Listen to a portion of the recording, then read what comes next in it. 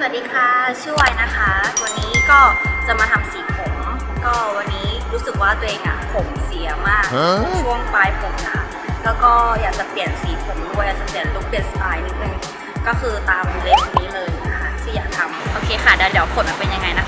คะ ก็เดี๋ยวเราจะใช้คอนเทนต์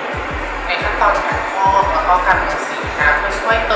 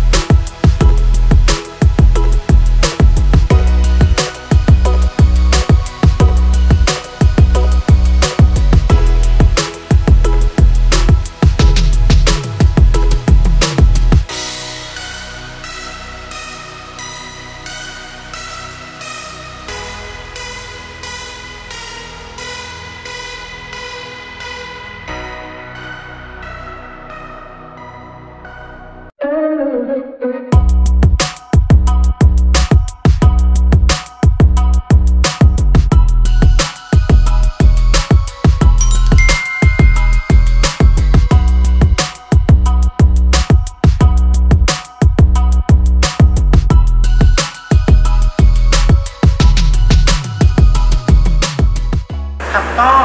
รู้สึกยังไงบ้างครับกับสีผม